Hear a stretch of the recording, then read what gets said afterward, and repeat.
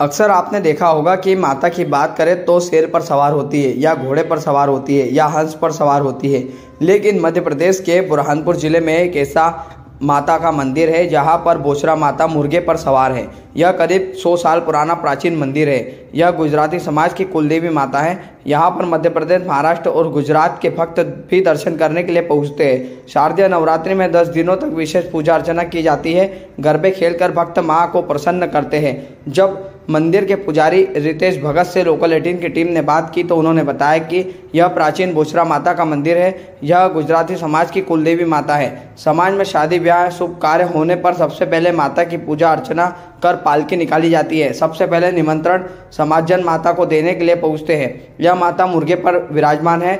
यहाँ पर शादी, ब्याह, बच्चे और नौकरी के लिए मन्नत मांगी जाती है। मन्नत पूरी होने पर भक्त इच्छा अनुसार प्रसाद चढ़ाते हैं। ज़िले में यह प्राचीन ऐसा एकमात्र मंदिर है जहाँ पर सभी समाजजन दर्शन करने के लिए पहुँचते हैं। शारदीय नवरात्र में नौ दिनों तक सुबह शाम माँ बोचरा माता की पूजा अर्चना कर आरती की जाती है जिसके बाद भक्त गरबा खेलकर माँ को प्रसन्न करते हैं। मंदिर है कितने साल पुराना और क्या मान्यता है इस मंदिर ये माता का मंदिर बोचरा माता मंदिर बोलते हैं इसको। ये मंदिर लगभग सौ साल पुराना है। इसमें गुजराती लोगों की कुल देवी है जहाँ पे मतलब ये बाहर महाराष्ट्र वाराष्ट्र के सभी जन यहाँ पर आते दर्शन करने के लिए क्योंकि ये मात्र बरहानपुर में स्थित है मुर, मुर्गी के ऊपर बैठी हुई देवी है ये।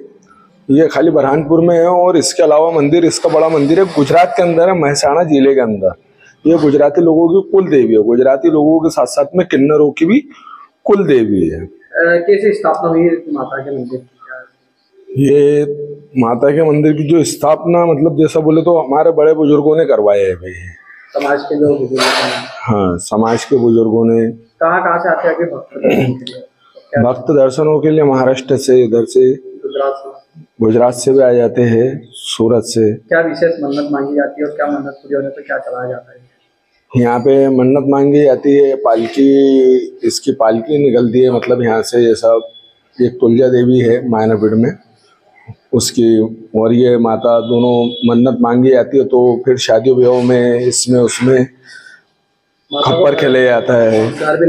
हाँ। उनके हाँ पालकी के इसमें घर पे उनके घर पे लेके जाते हैं फिर पूजा पाठ पालकी वालकी पे लेके जाके बढ़िया बिल्कुल धूमधाम से रसों से लेके जाते हैं लोग।